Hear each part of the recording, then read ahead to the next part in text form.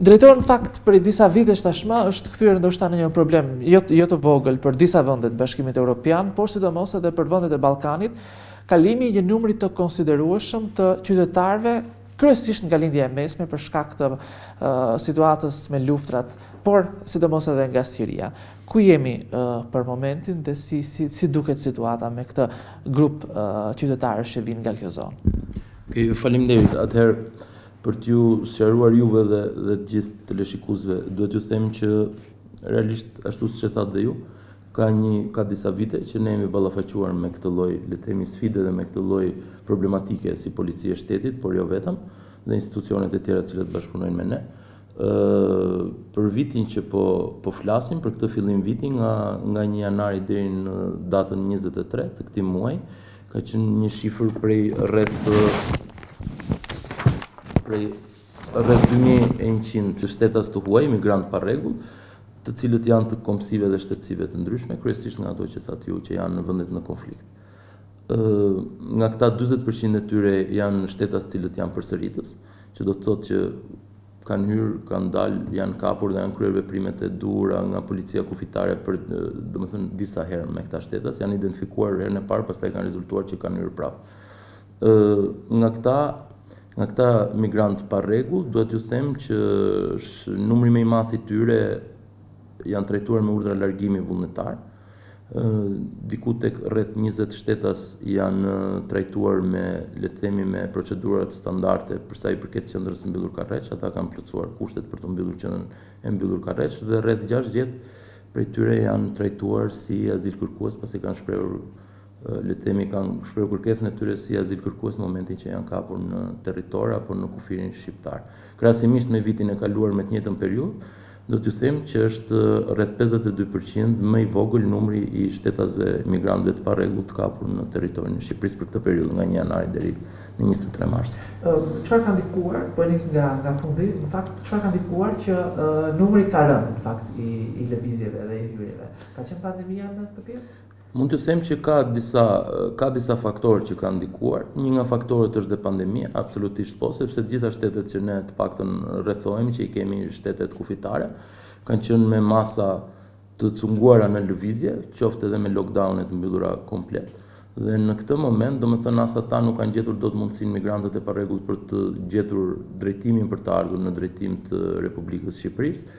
Por besoj që një faktor tjetër është edhe faktori i kohës, e cila ka qenë e ftohtë, ka pasur borë dhe ata nuk kanë gjetur dot mundësitë reale për të hyrë në Republikën e Shqipërisë. Gjithashtu, dua t'ju them që është edhe një punë relativisht e shtuar e Policisë së Shtetit dhe kryesisht me kufirin jugor me cilin ne ndahemi me homologët grekë, me të cilët kemi filluar të bëjmë patrullime të përbashkëta. dhe patrullime le të themi me zona të ndara ku ne ndajmë ë sipërfaqet e kufirit apo linjën e kufirit, vijën e kufirit e ndajmë nëpër segmente të caktuara të cilat bëjnë le të themi parapritë për migrantët e parregullt të cilët duan të hyjnë në mënyrë të parregullt për në Republikën e Shqipërisë. Gjithsesi, pasi këta persona hyjnë në territorin e Shqipërisë, të gjitha procedurat ligjore që ndiqen, të flasim pak edhe për sa i përket vendeve ku ata strehohen, patjetër jo vetëm ata të cilët kërkojnë azil, nëse do bëjmë një krahasim të numrit është shumë i vogël i atyre që kërkojnë azilin brenda Shqipërisë, por edhe të atyre që e përdorin Shqipërinë për t'u larguar. Cilat janë këta persona që plotësojnë kushtet për t'u strehuar, pastaj pjesa tjetër që largohen? Dhe ku strehohen gjithmonë? Atëherë, uh, unë do të isha në fakt më komod po të përdornim fjalën trajtohen nga pjesa e, e, e institucioneve shtetërore shqiptare sesa strehohen. Mm -hmm. Unë jua thashë, në punën tonë të përditshme, ne kemi kategori të caktuara, mhm. të cilët janë përcaktuar në ligjet kombëtare dhe ndërkombëtare, marrëveshjet që ka bërë Shqipëria në kuadrin ndërkombëtar për të njohur të drejtat dhe e njeriut. Ëh, dhe ashtu është siç thoni ju, që numri i azilkërkuesve është një numër i vogël për sa i përket të paktën për periudhën e këtij viti. Dhe në këto ligje janë të përcaktuara shumë qartë kush është kategoria e shtetasve të cilët trajtohen me me si azilkërkues, kategoria e shtetasve të cilët plotësojnë kushtet për t'u mbyllur në qendrën e mbyllur të Karreçit, e cila është në administrim nga Policia e Shtetit, dhe kategoria e shtetasve të cilët trajtohen me urdhër largimi vullnetar. Që në momentin e parë që një emigrant, le të themi kapet në në kufi, merret intervistohet, merren gjurmët e gishtave dhe në këtë moment në momentin e intervistimit, ai shprehet lirshëm për arsyet që ai ka që po vjen në drejtim të Shqipërisë. Dhe, nëse plotëson kushtet dhe ai kërkon azil, automatikisht Policia Kufitare bën praktikën, e cila është praktikë ligjore e miratuar, dhe e përzgjedh si azilkërkues dhe e çon në qendrën e hapur të azilit e cila ndodhet në Babru. Nëse shtetasi për shumë arsye gjatë intervistimit nxjerr pretendime apo shprehet për për për ato kategori të cilat janë përcaktuara në ligj që nuk mund të trajtohet si azilkërkues apo si një shtetas i cili duhet mbyllet në qendrën e mbyllur të Karreçit, atëherë ai trajtohet me urdhër largimi vullnetar, e cila në përgjithësi jepet 7 ditore nga pjesa e nga pjesa e kolegëve të mi të kufirit, të cilët operojnë në terren. Dhe brenda këtyre 7 ditëve ky shtetas është i detyruar që të lërë Republikën e Shqipërisë, e cila dhe ndodh. Mhm. Ndodh që largohen, por unë ua thashë dhe pak më përpara. Ndodh që largohen, por ne i kapim prapë për herë të dytë. Domethënë ata duan një mundësi prapë për të për të kaluar nëpërmjet Shqipërisë. Ajo që thatë ju qëndron.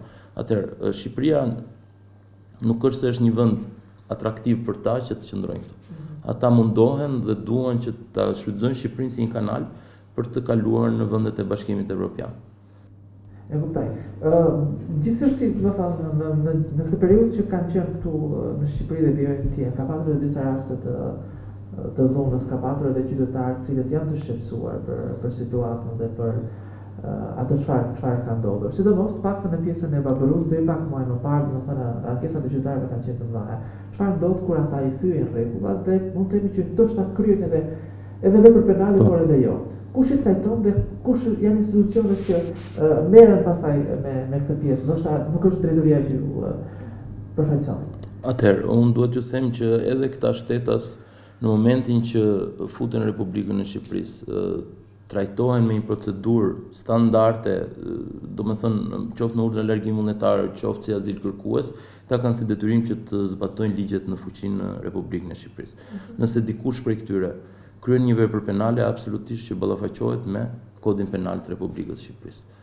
Ë pjesa tjetër Pjesa tjetër, e atyre të cilët, për shembull, nuk kanë zbatuar urdhrin e largimit vullnetar dhe janë kapur përsëri, kanë qenë këtu, u është dhënë një urdhër largimi vullnetar për shtatë ditë dhe nuk janë kapur, ka procedura të tjera të policisë kufitare, të cilët variojnë deri në urdhrin e dëbimit.